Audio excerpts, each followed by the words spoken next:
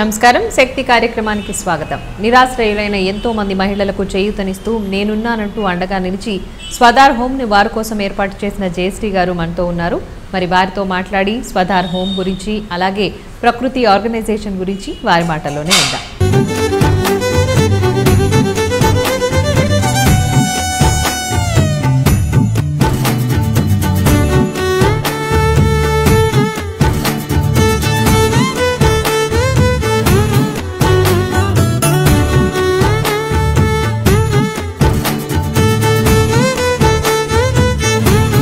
నమస్తే madam. Madam Prakruthi organization start చేయడానికి అసలు ముందు ఆ థాట్ ఎలా వచ్చింది? ప్రకృతి పర్యావరణ సంస్థ యాక్చువల్గా బేసికల్గా దాని పేరు. సో అది స్టార్ట్ చేయడానికి బ్యాక్గ్రౌండ్ మాకు లయన్స్ క్లబ్ ఉంది. లయన్స్ క్లబ్లో మేము అందరం కొంతమంది ఫ్రెండ్స్ అందరు కలిసి రెగ్యులర్గా డిఫరెంట్ సర్వీస్ యాక్టివిటీస్ చేసేవాళ్ళం. సో అది చేస్తున్నప్పుడు అది కంటిన్యూయేషన్ ఆఫ్ యాక్టివిటీ ఉండకపోయేది. ఎవ్రీ ఇయర్ కొత్త కొత్త టీం రావడం ఆ టీంని బట్టి అది మార్చడం దాని తర్వాత మళ్ళీ నెక్స్ట్ యాక్టివిటీ కొత్త యాక్టివిటీని చూస్ చేసుకోవడం అలా జరుగుతుండేది. దానికి తోడుగా ఇంకా కంటిన్యూషన్ ఆఫ్ యాక్టివిటీస్ లేకపోవడం ఒకటి. నేను లా కంప్లీట్ చేసినాక దాని మీద ప్రొఫెషనల్గా ఇంట్రెస్ట్ లేకపోవడం ఒకటి. సర్వీస్ లైన్కి బాగుంటుందేమో అన్న ఆలోచనలో. సో దా సర్వీస్ని ప్రొఫెషన్గా తీసుకోవడం అని అన్నది కూడా ఒకటి ఇంపార్టెంట్ అని అనుకున్నాము అనుకున్న దాంట్లో ఇన్స్పిరేషన్తో లయన్స్ క్లబ్ ఇన్స్పిరేషన్తో మేము స్టార్ట్ చేయడం జరిగింది. దానికి మా group of friends doctor Savitri Madhavarao గారని డాక్టర్ శ్రీనివాస్ డాక్టర్ జయశ్రీ అని అందరూ టీం అందరూ కలిసి మామూలుగా మాట్లాడుకున్నప్పుడు ఓకే కంటిన్యూషన్ ఆఫ్ యాక్టివిటీ ఉంటే మనం అందరం కలిసి చేద్దాం అని అన్న ఉద్దేశంతో స్టార్ట్ చేశారు. మ్మ్. ఓకే అంటే ఆ, ప్రకృతి మీకు ఏమైనా అంటే ప్రకృతి పట్ల ప్రేమ ప్రతి ఒక్కరికి ఉంటుంది. పర్యావరణం ప్రకృతి అంటే ఆ ప్రేమ వల్ల మీకు ఆ సర్వీస్ చేయాలని థాట్ వచ్చింది అంటారా అలా కాదు. యాక్చువల్గా బేసిక్గా మనకు ఉన్న రిసోర్సెస్ని ప్రాపర్గా యూటిలైజ్ చేయట్లేదు అని అన్నది మేజర్ ఇంటెన్షన్ అండి. ఈ ఆర్గనైజేషన్ స్టార్ట్ చేయడంలో. రిసోర్సెస్లో మనం రెండు రకాల రిసోర్సెస్ని కూడా మనం ప్రాపర్గా యూటిలైజ్ చేయట్లేదు. ఇది న్యాచురల్ రిసోర్స్ అనుకోండి హ్యూమన్ రిసోర్సెస్ ఉపయోగించుకోవడంలో అండర్ యూటిలైజేషన్ ఉంది. తర్వాత ఎక్స్ప్లాయిటేషన్ ఉంది. రెండు రకాలుగా ఉంది. చేస్తున్న వాళ్ళకి ఎక్స్ప్లాయిట్ చేయడం అంటే ఎక్స్ప్లాయిటేషన్ ఆఫ్ న్యాచురల్ రిసోర్స్ తీసుకోండి. బోర్లు ఎక్కువగా వేసేసి ఆ గ్రౌండ్ వాటర్ని ఎక్స్ప్లాయిట్ చేయడం. అలాగే హ్యూమన్ రిసోర్స్కి వచ్చేసరికి వాళ్ళకు స్కిల్ లేకపోవడం వల్ల వాళ్ళని అంటే తక్కువ లో కాస్ట్కి వాళ్ళకి వాళ్ళతో హైర్ చేసుకొని వాళ్ళను ఎక్స్ప్లాయిట్ చేయబడడం దానికంతా కూడా స్ట్రెంగ్ ఆఫ్ ద సిస్టమ్ లేకపోయేసరికి అలా న్యాచురల్ కానివ్వండి హ్యూమన్ రిసోర్సెస్ని ప్రాపర్ యూటిలైజేషన్ లేకపోవడం అనేది మేజర్గా కాన్సెప్ట్లో ఆర్గనైజేషన్ కాన్సెప్ట్లో అది. ఓకే ఆబ్జెక్టివ్స్ ఏంటండి దీంట్లో? దీంట్లో ఆబ్జెక్టివ్లో మేజర్గా ఇప్పుడు మేము ఇప్పుడు నైంటీ నైంటీ సెవెన్లో మేము స్టార్ట్ చేయడం జరిగింది ఈ కార్యక్రమాన్ని. సో బ్యాక్గ్రౌండ్గా మా గ్రూప్ అంతా కూడా ఫ్రెండ్స్ ఇప్పుడు నేను చెప్పిన పేర్లందరూ ఉన్నా కూడా నేను ప్రొఫెషనల్గా నేను వేరే లైన్ చూస్ చేసుకోవడం వల్ల నేను అప్పటి నుండి కంటిన్యూయేషన్ ఆఫ్ యాక్టివిటీలో ఉన్నాను. బట్ అప్పటి నుండి ఇప్పటి వరకు మా గ్రూప్ అంతా కూడా సపోర్టివ్గానే హండ్రెడ్ పర్సెంట్ సపోర్టివ్గా ఉన్నారు. సో దాంట్లో ఏంటంటే ఇక్కడ మనము మేజర్గా న్యాచురల్ రిసోర్సెస్లో గ్రౌండ్ వాటర్ ప్రిజర్వేషను అండ్ ఒకటి ప్లాంటేషన్ని ఎక్కువగా పెంచడం. ఈ రెండు మేజర్గా దేనికైనా రూట్ కాజ్ అంటే పర్యావరణాన్ని రక్షించుకోవాలంటే ఈ రెండింటిని కాపాడుకోగలిగితే ఆటోమేటిక్గా మిగతా ఎన్వైర్న్మెంట్ అంతా కూడా సెట్ అవుతుంది అనేది ఆ బేస్లో ఈ రెండింటిని తీసుకోవడం జరిగింది. హ్యూమన్ రిసోర్స్కి వచ్చేసరికి మెయిన్గా మహిళలు మరియు యువత ఈ రెండు రిసోర్సెస్ని మనం ప్రాపర్ ఛానలైజ్ చేసి ఎందుకంటే మిగతా మెయిల్ ఫోక్ అంతా కూడా వాళ్ళ ఆటోమేటిక్గా ఏదో ఒక పనిలో ఉంటున్నారు. ఎందుకంటే కుటుంబాన్ని పోషించడానికి ఏదో ఒకటి తీసుకోవడం జరుగుతుంది. యువత అన్ఆర్గనైజ్డ్గా నడవడం మహిళల స్ట్రెంత్ని ప్రాపర్గా యూటిలైజ్ చేసుకోలేకపోవడం అనేది ఈ రెండు కాన్సెప్ట్లలో మానవ వనరులలో ఈ రెండింటి మీద ఫోకస్ చేయడం. సో ఈ రకంగా రెండు సహజ వనరులు మానవ వనరుల్లో మేము చేస్తాం? ఇప్పుడు మహిళా యువత మీద కాన్సన్ట్రేట్ చేసినప్పుడు వాళ్ళకంటూ కొన్ని ప్రత్యేకమైన కార్యక్రమాలు చేపట్టాల్సి ఉంటుంది. ఎటువంటి కార్యక్రమాలు చేపట్టారు? సో మహిళలకు యువతకి చేపట్టే కార్యక్రమంలో ముఖ్యంగా మహిళలకు వచ్చేసరికి వాళ్ళకు ఫస్ట్ ఇన్పుట్స్ లేవు. ఇన్పుట్స్ అంటే వాళ్ళకు ఎలాంటి కార్యక్రమాలకు వాళ్ళు యాక్సెసిబుల్ ఉన్నారు. అంటే లైక్ లీగల్ అవేర్నెస్ అనుకోండి లీగల్ అవేర్నెస్ తర్వాత ట్రైనింగ్ ప్రోగ్రామ్స్లలో వాళ్ళకున్న సబ్సిడీస్ అనుకోండి మిగతా కేపబిలిటీస్ ప్రకారం వచ్చే ఏదైనా గవర్నమెంట్ నుండి వచ్చే స్కీమ్స్ ఏవైనా కూడా వాళ్ళకు ఏవైతే దొరుకుతాయో అది వాటి గురించి అవగాహన లేకపోవడం అనేది చాలా ఎక్కువ. అవగాహనలన్నీ మీకు కనిపిస్తుంది మొత్తం అవగాహన కార్యక్రమాలు చాలా చేపడుతూ ఉంటాం సో దాంతో పాటుగా వాళ్ళకి ఇప్పుడు మన దగ్గర ఎక్కువగా ఉన్న పాపులేషన్లో ఒక థర్టీ ఫార్టీ పర్సెంట్ తీసుకుంటే మహిళా పాపులేషన్ తీసుకుంటే ఒక ఎడ్యుకేషన్ సైడ్ ఇప్పుడు పెరుగు పెద్దగా పెరుగుతున్నాడు. అంటే ఎడ్యుకేషన్ వల్ల ఉద్యోగాలు రావడం వేరు. లిటరసీ వేరు. లిటరసీ ప్రకారం బాగానే ఉంటుంది లిటరసీ. బట్ ఇక్కడ మా మేము తీసుకున్న పారామీటర్ లిటరసీ కాదు. వాళ్ళు దానివల్ల ఎంతో ఉపయోగపడుతున్నారు. సో ఒక చదువుకొని ఆ మహిళ ఉద్యోగమే చేయనక్కర్లేదు. But at the same time వాళ్ళ కాంట్రిబ్యూషన్ టువర్డ్స్ ద సొసైటీ కానివ్వండి అండ్ కంట్రీ యొక్క ఎకానమీ మీద కూడా ఒక మహిళ సంపాదిస్తుంది అని అంటే అది ఇండైరెక్ట్గా కంట్రీ ఎకానమీ మీద ఇంపాక్ట్ ఉంటుంది. సో ఆ రకంగా చూస్తే అలా మన రిసోర్సెస్ వాడుకోవడం తక్కువే. సో దాన్ని స్ట్రీమ్లైన్ చేయడానికి వాళ్ళు హౌస్ వైస్గా ఉంటూ ఏ పని ఏం చేయొచ్చు ఎలాంటి పనులు చేయొచ్చు దానికి డైరెక్షన్ ఇవ్వడం. అందులో మళ్ళీ మెయిన్గా కుటుంబ వ్యవస్థను మేము ఎక్కడ కూడా దెబ్బతీయడానికి డిస్టర్బ్ చేయకుండా అదే అది మేజర్గా చూసుకుంటున్న పారామీటర్ కుటుంబ వ్యవస్థను డిస్టర్బ్ చేయకుండా వాళ్ళు ఆర్థికంగా ఎలా అభివృద్ధి పొందాలన్న దాని మీద మహిళలకి అండ్ వాళ్ళకు తెలియని విషయాల గురించి అవగాహన కార్యక్రమాలు ఇంకా యువతకు వచ్చేసరికి యువతలో ముఖ్యంగా అమ్మాయిలు అబ్బాయిలు ఇద్దరిని తీసుకుంటాం. వాళ్ళకి మేజర్గా అడాలసెంట్ ఎడ్యుకేషన్ చాలా అవసరం ఉంటుంది. Personality development career counselling and దాంట్లో ఈ డ్రాప్ అవుట్స్ ఉంటారు. సెవెంత్ నుండి టెన్త్ వరకు డ్రాప్ అవుట్స్ చాలా మంది పిల్లలు ఉంటారు. ఫార్టీ పర్సెంట్ అన్న డ్రాప్ అవుట్స్ ఉంటారు. సో ఆ డ్రాప్ అవుట్స్కి కరెక్ట్ డైరెక్షన్ ఇవ్వడం.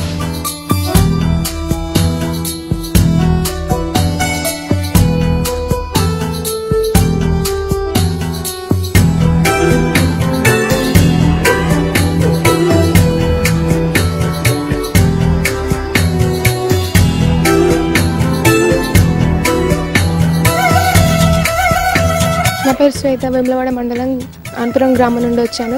నేను అనుకునేదాన్ని నా కుటుంబం సహకరించలేదు. అనుకోని పరిస్థితుల వల్ల ఇక్కడికి రావడం జరిగింది. ఆగిపోయిన స్టడీని ఇక్కడ నుండి కంటిన్యూ చేస్తున్నా. నా కాళ్ళ మీద నేను నిలబడి నేను కోరుకున్న జీవితాన్ని సాధించాలనుకుంటున్నాను నా పేరు మౌనిక. మా గ్రామం పేరు చెల్పూర్ మండల్ హుజరాబాద్. నేను ఇక్కడ టైలరింగ్ నేర్చుకుంటూ మరియు వేరే ట్రైనింగ్కి వెళ్తూ బ్యూటిషియన్ నేర్చుకుంటున్నాను ఇక్కడ ఇంట్లో ఎట్లుంటామో మనం సేమ్ ఇక్కడ అలాగే ఉంటాం. నేను హైదరాబాద్ ట్రైనింగ్కి కూడా వెళ్ళిన ఏపీ బైరెడ్ అపాడ్. అక్కడికి వెళ్ళి కూడా మగ్గం ట్రైనింగ్ నేర్చుకున్నా. నా పేరు భూలక్ష్మి మాది కొండపల్లికల మా ఇంట్లో వాళ్ళ సపోర్ట్ లేకుండా ఇంట్లో ఎవరి పెద్దవాళ్ళ సపోర్ట్ లేదు.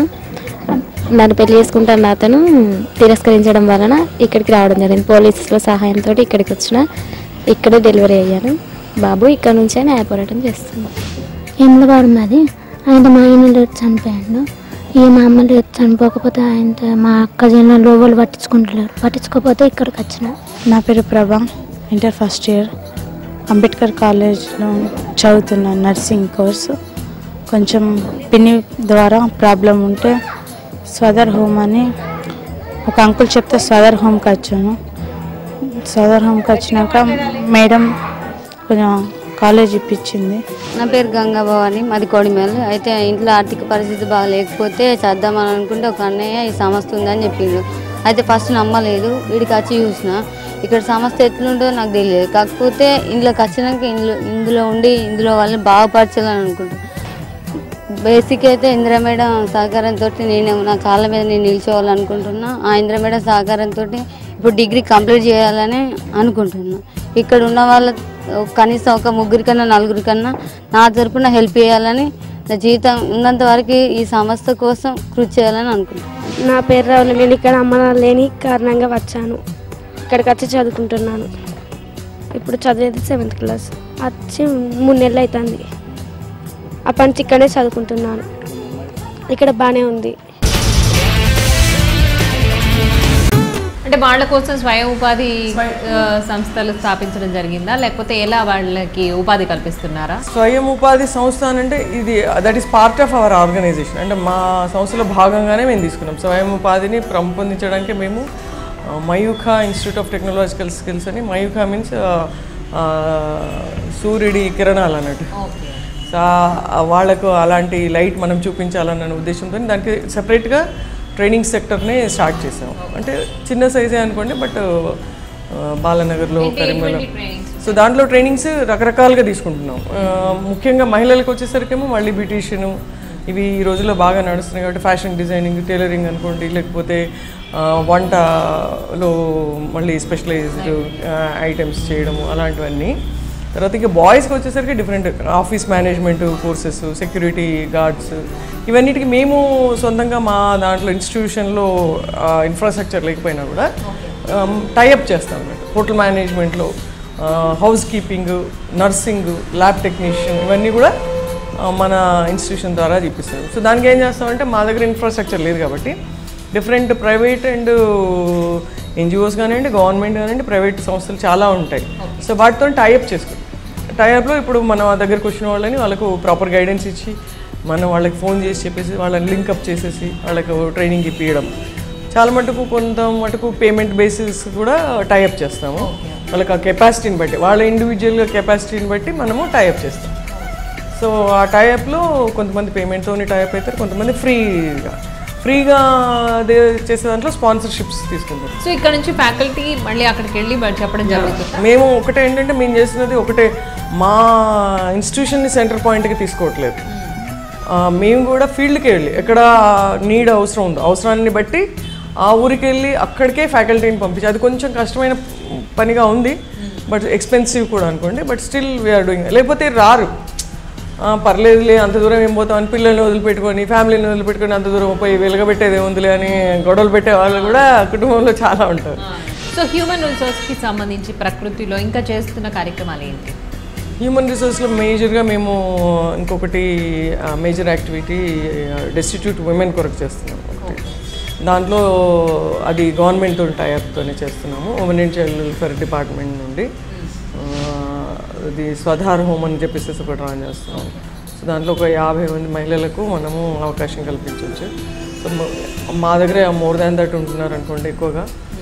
దాంట్లో ఏంటంటే ముఖ్యంగా ఆ స్వధారంలో రకరకాల ప్రాబ్లమ్స్తో ఉన్న వాళ్ళందరికీ కూడా మనము షెల్టరు కౌన్సిలింగ్ అండ్ రీహాబిలిటేషన్ ఈ మూడు చేయడానికి అవకాశం ఉంటుంది.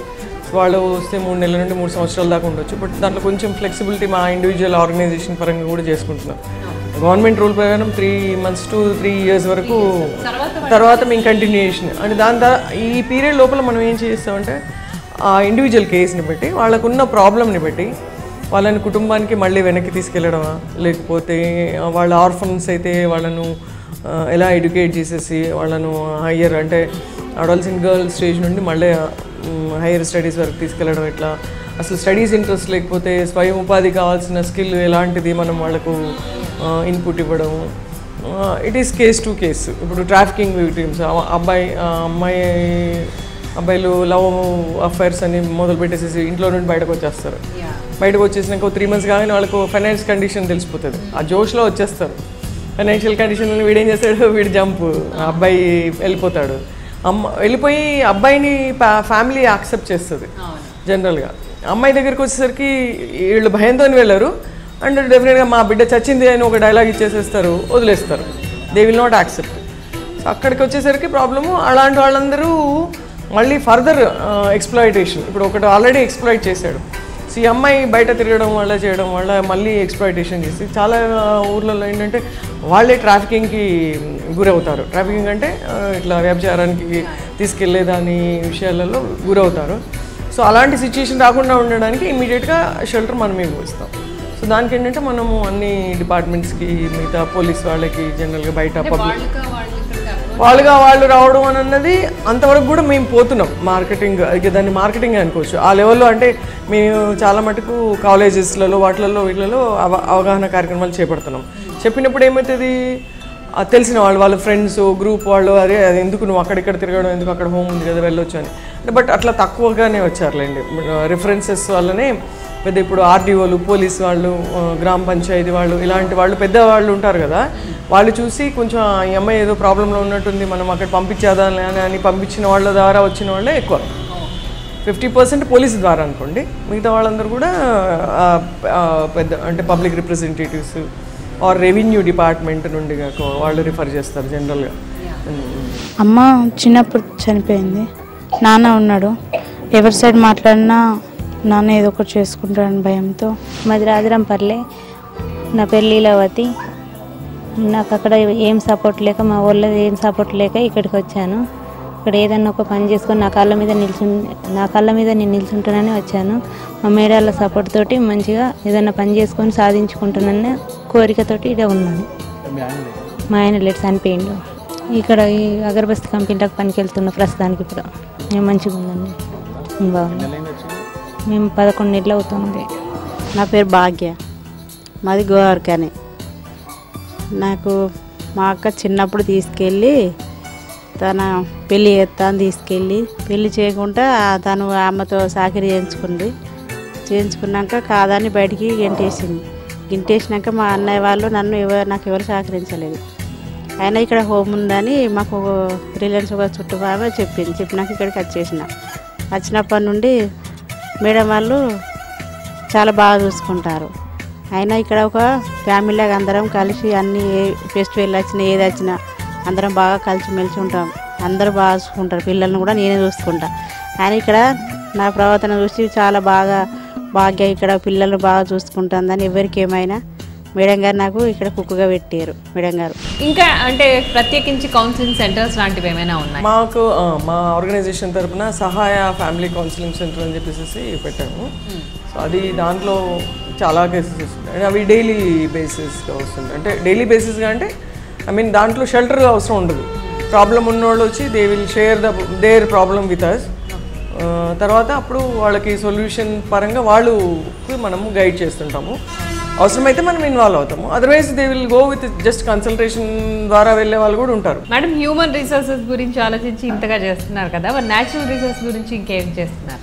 న్యాచురల్ రిసోర్స్కి వచ్చేసరికి ఇందాక చెప్పినట్టుగా మనం ముఖ్యంగా నీటి వనరులను మరియు చెట్లను కాపాడుకోవడం ఎలా ఇంప్రూవ్ చేయడం ఎట్లా ఈ రెండు బేసిక్గా అంటే పొల్యూషన్ కానివ్వండి ఇంకా దేనికైనా కూడా గ్రౌండ్ వాటర్ పొల్యూషన్ ఏ పొల్యూషన్కైనా కూడా ఎయిర్ పొల్యూషన్ అయినా ఏ తీసుకున్నా కూడా ఈ రెండింటిని సరిగా కాపాడుకుంటే మిగతా వాడి కొంచెం పెరిగినా కూడా లెవెల్స్ పెరిగినా కూడా మనం బ్యాలెన్స్ అవుట్ చేయడానికి అవకాశం ఉంటుంది కాబట్టి మేము నీటి వనరుల్ని కాపాడుకోవడానికి వాటర్ షెడ్ అండ్ గవర్నమెంట్తో సంబంధించిన కార్యక్రమాలు నాబార్డు ఎస్ఎల్ఎన్ఏ అని చెప్పేసి రకరకాలుగా గవర్నమెంట్ ప్రోగ్రామ్స్ చేస్తున్నాం. దాంతో పాటుగా అదొకటే కాకుండా మేము అర్బన్ అండ్ రూరల్ ఏరియాస్లలో మేజర్గా ఇప్పుడు ఒక కుంటలో ఊర్లలో అంటే చిన్న చిన్న కుంటలు ఉంటాయి. అవన్నిటిని ఏం చేస్తారంటే ఎక్కువ పూడిగా తీయకుండా పెట్టేసేయడము. లేకపోతే అక్కడ వాటి దగ్గర కబ్జాలు చేసేసుకొని పంటలు వేసేసి మెల్లగా ఇల్లు కట్టేసుకోవడం ఇలాంటివన్నీ చేస్తూ ఉంటారు. సో అలా కాకుండా ఆ పర్టికులర్ ఏరియాలో ఆ గ్రూప్కు మనం అవగాహన కార్యక్రమాలు పెట్టేసేసి దానివల్ల మనకు అంటే ఈ టెంపరీ ఇది టెంపరీ గెయిన్ ఒక ఒక మనిషి ఇల్లు కట్టుకుంటాడు కానీ ఆ దానివల్ల మొత్తం ఆ ఊరు నష్టపోయే అవకాశం ఉంటుందని చెప్పేసి అలా. ఇంకా అర్బన్ ఏరియాస్కి వచ్చేసరికి మనం ఏం చేస్తామంటే వాన నీటి ఇంకుడు గుంతలు అని చెప్పేసి దాన్ని చాలా విగరస్గా ప్రమోట్ చేస్తున్నాం. ఓకే మీరంటే వాళ్ళ దగ్గరికి వెళ్ళి ఎట్లా వీలైతే వాళ్ళు కాలనీ వాళ్ళు అవగాహన కార్యక్రమాలు పెడితే వెళ్తాము. ఇండివిజువల్కి మాకు సపోర్ట్ అవసరం ఉంది మీరు ఒకసారి విజిట్ చేయండి అంటే వెళ్తాము అట్లా రకరకాలుగా మాకు అంటే స్టాఫ్ చాలామంది ఉన్నారు ఆఫీస్ స్టాఫ్. అందరూ ఎక్స్పీరియన్స్ వాళ్ళు కూడా ఉన్నారు. సో అలా వాళ్ళందరం కలిసి ఎట్లా ఎవరికి ఎట్లా వీలైతే అక్కడికి అందరం వెళ్తాం. చూస్తుంటే అంత సేవా కార్యక్రమాలకి మీ టైం అంతా ఎక్కువగా స్పెండ్ చేస్తున్నట్టు అనిపిస్తుంది. సో ఈ పరిస్థితుల్లో ఎప్పుడైనా ఏమైనా ఇబ్బందులు ఎదుర్కొన్న సందర్భం ఉందా? ఇబ్బందులు చాలా ఇబ్బందులు ఉంటాయి. సర్వీస్ సెక్టర్లో అన్ని ఇబ్బందులే జనరల్గా అంటే రకరకాలుగా ఉంది ఫ్యామిలీ సపోర్ట్లో అన్డౌటెడ్లీ గుడ్ సపోర్ట్ అసలు ఫ్యామిలీలో ఎవరు ఇంతవరకు మా పేరెంట్స్ కానివ్వండి మా ఇన్లాస్ కానివ్వండి హస్బెండ్ కానివ్వండి ఎవరు ఆబ్జెక్షన్ చేసిన వాళ్ళు ఏం చేసుకుంటారు మమ్మల్ని మాత్రం డబ్బులు అడగద్దు అంటారు కానీ బట్ ఏం చేస్తావా? చేసుకో అంటారు. ఆ రకంగా ఏం లేదు. ఇంకా మా పిల్లలు బాగా ఎంకరేజ్ చేస్తారు ఇద్దరు. పాప పైలట్ డాక్టర్ బాబు వాళ్ళు బాగానే ఎంకరేజ్ చేస్తారు. సో నెక్స్ట్ వచ్చేసరికి ఇంకా ఫ్రెండ్స్ అందరూ కూడా చాలా మంచి గ్రూప్ ఉన్నారు. అందరూ ఎంకరేజ్ చేస్తారు. ఏమన్నా ఫైనాన్షియల్ సపోర్ట్ అంటే ఫ్రెండ్స్ నుండే వస్తుంది సపోర్ట్ అండ్ మేజర్గా హర్డిల్స్కి వచ్చేసరికి డెఫినెట్గా నేను చెప్పదలుచుకుంది ఏంటంటే గవర్నమెంట్ నుండి చాలా ప్రాబ్లమ్స్ ఉన్నాయి. అంటే గవర్నమెంట్తో ఇప్పుడు చెప్పాం కదా వాటర్ షెడ్ కార్యక్రమాలని స్కిల్ డెవలప్మెంట్ కార్యక్రమాలని. ఇంతో అంతా మనము వాళ్ళకి ఫ్రీ చేయాలంటే గవర్నమెంట్ నుండి సపోర్ట్ తీసుకోవాల్సిందే. తీసుకుంటున్నప్పుడు ప్రాపర్గా బిల్లింగ్లో కానివ్వండి దాంట్లో కానీ మాకు టైమ్లీ రిలీజెస్ అవి ఉండవు. సో దాని నుండి బాగా సఫర్ అవుతుంటాం. ముందు ఇన్వెస్ట్ చేయాలి. అని అన్నది వస్తుంది ఆ ఇన్వెస్ట్మెంట్కు అని అనేది investment it's not a business అందుకే ఇందాకే చెప్పాను కదా ఎవరు డబ్బులు అడగకుండా ఇంకేం పని అంటే చేస్తామని అనే వాళ్ళు ఉంటారు కాబట్టి ఇన్వెస్ట్మెంట్కి ప్రాబ్లం వస్తుంటుంది. But some good circle supporting friends అందరు ఉన్నారు కాబట్టి కుషనింగ్ జరుగుతుంటుంది. సో మీదొక మంచి అంటే మంచి పని కోసం పోరాడుతున్న ఎన్జిఓ. సో ఇంకా ఎటువంటి భవిష్యత్తులో ఇంకా ఎటువంటి కార్యక్రమాలు చేపట్టాలి అనుకుంటున్నారు? భవిష్యత్తులో మేము అనుకున్న దాంట్లో కొన్ని అంటే పర్మనెంట్ కొంచెం ఒక ఎస్టాబ్లిష్డ్ అంటే ప్రకృతి అని అన్నది ఒక ఇండివిజువల్ బేస్డ్గా కాకుండా ఇట్స్ అన్ ఇన్స్టిట్యూషన్ ఆ ఇన్స్టిట్యూషన్ ద్వారా ఇప్పుడు మేము అనుకున్న ఎయిమ్స్ అండ్ ఆబ్జెక్టివ్స్ని క్యాటర్ చేసే వాళ్ళు నెక్స్ట్ జనరేషన్స్ నుండి కూడా రావాలి. అది మా ఫ్రెండ్స్ పిల్లలే కావచ్చు ఎవరైనా కావచ్చు అది. అలాంటిది ఆ, అదొక ఇండివిజువల్ ఐడెంటిటీ ఆర్గనైజేషన్ లాగా వచ్చి దాని ఎయిమ్స్ అండ్ ఆబ్జెక్టివ్స్ని ప్రాపర్గా చేయడంలో. సో మా కాంట్రిబ్యూషన్ టువర్డ్స్ ద కంట్రీ అది ఆ లెవెల్కి అంటే ప్రౌడ్లీ కెన్ సే ప్రకృతి ఈజ్ కాంట్రిబ్యూటింగ్ సంథింగ్ అని అన్న లెవెల్కి దాన్ని తీసుకురావాలని అంటే ఈ రిసోర్సెస్ని ఎంత మనం మ్యాక్సిమం యూటిలైజ్ చేసుకు తీసుకొస్తే ఆటోమేటిక్గా దట్ విల్ డెవలప్ అని అన్నది సో మిమ్మల్ని అప్రోచ్ కావాలన్నా లేకపోతే ఏ విషయంలో మీకు హెల్ప్ చేయాలన్నా మీ నుండి హెల్ప్ పొందాలన్నా సో ఎలా అంటారు? ఎలా అప్రోచ్ అవ్వాలి? సో అప్రోచ్ కావడానికి మాకు ఓపెన్ ఆఫీసు అన్ని ఎస్టాబ్లిష్మెంట్ ఉందండి. దానిలో ఫోన్ నెంబర్స్ ఇవ్వచ్చు. మెయిల్ ఐడి ఉంది అది చెప్పడానికి సో ఎవరైనా అంటే ఇందాక మీరు చెప్పారు ఒక ski training courses training centres కూడా ఉన్నాయని దాంట్లో ఎవరికి వాళ్ళుగా రావచ్చా? లేకపోతే ఎలా ఉంటుంది అది? ఇండివిజువల్గా వాళ్ళు రావచ్చు. ఆ, వచ్చి వాళ్ళు ఒకవేళ పేమెంట్ బేసిస్లో ట్రైనింగ్స్ తీసుకుంటా అంటే వాళ్ళకి టైప్ చేస్తాము.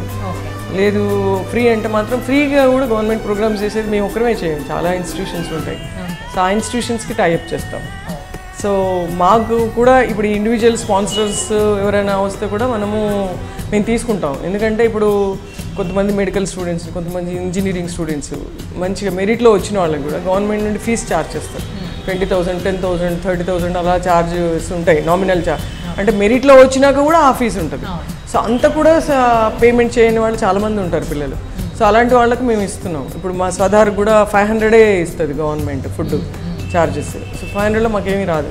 సో మాకు దాంట్లో కూడా స్పాన్సర్స్ ఎవరైనా స్పాన్సర్స్ నామినల్గా వాళ్ళు చేస్తా అంటే వాళ్ళకి మేము ఏం చేస్తామంటే ముందే డబ్బులు తీసి పెట్టుకోము సో అవసరాన్ని బట్టి ఇప్పుడు మాకు ఇది అవసరం ఉంది అని అనుకోండి. ఈ అబ్బాయికి అవసరం ఉంది అంటే వాళ్ళు ఇప్పుడు మేము స్పాన్సర్ చేస్తామని చెప్పినా కూడా వాళ్ళది లిస్ట్ చేసేసి పెట్టుకుంటాం. మనం లిస్ట్ చేసి పెట్టుకుంటాం. పెట్టుకొని మాకు ఆ పర్టికులర్ వర్క్కు ఇప్పుడు కొంచెం ఈ ఏదైనా ప్రాబ్లం వస్తుంది ఫెస్టివల్ ఉంది ఆ, వాళ్ళకి పిల్లల ఇన్మేట్స్కి అందరికీ బట్టలు కొని ఇవ్వాలని అనుకుంటున్నాం అనుకోండి. సో ఆల్రెడీ చెప్పిన వాళ్ళు ఎవరైనా ఉంటే వాళ్ళకి ఫోన్ చేసి ఇప్పుడు అవసరం ఉంది ఇవ్వండి అని చెప్పడము. స్పా ఇప్పుడు ఫీజు కట్టాలని అంటే అలాంటి వాళ్ళు ఎవరైనా ఉంటే వాళ్ళకి టైప్ చేస్తాం. సో అంటే ఎందుకంటే స్పాన్సర్స్కి మా అది మేము ఇచ్చిన డబ్బులు ప్రాపర్ యూటిలైజేషన్ ఉందా లేదా అని చూడడానికి ఆ పర్టికులర్ యాక్టివిటీ ఉన్నప్పుడే టైఅప్ చేస్తాం. సో అప్పటి వరకు ఓన్లీ చేస్తానన్నా కూడా ఏమి తీసుకోకుండా ఇలా లిస్ట్ అవుట్ చేసి పెట్టుకుంటాం. మేడం మీ సేవా కార్యక్రమాల గురించి ప్రకృతి గురించి హ్యూమన్ రిసోర్సెస్ అలాగే న్యాచురల్ రిసోర్సెస్ గురించి మీరు చేస్తున్న సేవల గురించి ఎన్నో విషయాల్ని మాతో షేర్ చేస్తున్నారు. Thank you very much